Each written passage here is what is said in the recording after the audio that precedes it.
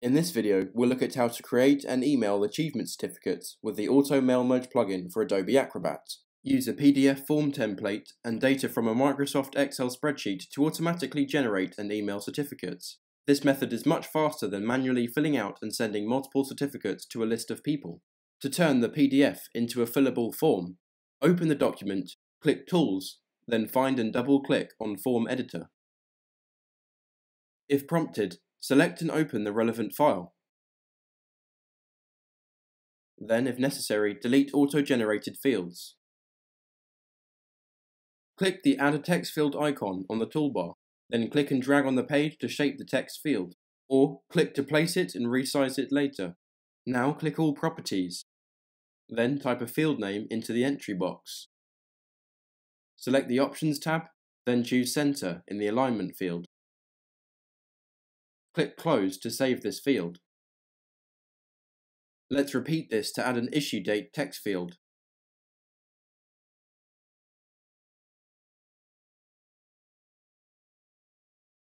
Ensure these fields are appropriately sized to display the auto-filled text. When editing the text field properties, in the Appearance tab, select Auto Font from the drop-down list. This will make names and dates fit perfectly within their fields. Click Save File to save changes. The PDF certificate will now be an interactive PDF form. Now we'll look at how to use Excel data for the mail merge. Use an Excel spreadsheet to prepare data for the certificates. The name text field will be populated by three data fields, first name, middle name, and last name. Let's look at how to configure the mail merge parameters. Open the pre-prepared form template in Adobe Acrobat. Then click Plugins in the upper menu and select Mail Merge. Now click Edit Settings. In the window that opens, click the Browse button. Here, you must select the Microsoft Excel Worksheet option, then click OK. Select the pre-prepared spreadsheet file, then click Open. Select the datasheet from the list, then click OK. Now we'll look at how to map the form to data fields in the Excel spreadsheet. Detected form fields are now listed here. Click Guess Mapping. The software will identify data field and form field similarities. Click Yes on the confirmation dialog box. Then click OK to close the box informing you how many field mappings have been guessed. Here, the association between the issue date fields in the spreadsheet and certificate PDF has been recognised. Our next goal is to combine text from all three name fields in the spreadsheet into the single name field in the certificate PDF. To do this, select the name form field, then click the Add Mapping button. Check the Use Multiple Field expression to create a composite field option. Now, type first name, middle name, and last name as shown here into the Enter Expression text box, then press OK. Click Next, then if necessary, check the Flatten Output PDF Documents option to make output documents non-editable. Then click Next. Now let's look at some output options. Click Browse to specify an output folder for the certificates. Check the Save each copy of the filled form as a separate PDF document option. Then specify desired file names with the file naming controls. Here, we are appending the value of last name to the original file name for each document. Now click Next to skip through remaining screens.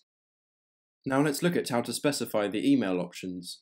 On this screen, check the Send emails to the recipients using addresses from the data source option. Optionally click Advanced to specify options for SMTP email servers. Select an email format using the drop-down list. Optionally, check the User Interaction is required for sending emails option. This displays a confirmation dialog before sending each email message. Now specify a data source field.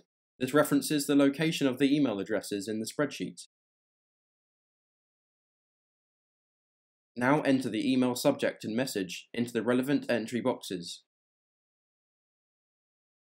Use a field name written in this format to insert text from the data source into the email to personalize each message. Once this is done, click Next. Now select the preferred emailing method. The plugin provides two options. Use the SMTP server to securely send emails without any user interaction, or use the default email client, for example Outlook, which may always prompt confirmation for each email due to security restrictions. Now click Next to proceed. Click Finish on the last advanced screen. Check the settings summary. Save these settings for later use with the Save Settings button. Use Load Settings to load them back later. Now click OK. Then press the Run Mail Merge button to begin the process. If using Outlook, you may be prompted before emailing each document. Note that this screen will not appear if a different emailing method is used. If the User Interaction Required option was previously enabled, this screen is shown for each message. Use it to preview the email message and attached PDF document. Check this box to avoid repeating this screen for each email. Then click Send Email. If using Outlook, this screen will be shown, where you'll need to press Send. If user verification is not desired, use an SMTP emailing method. This dialog box will then confirm the operation's success and report the number of certificates created.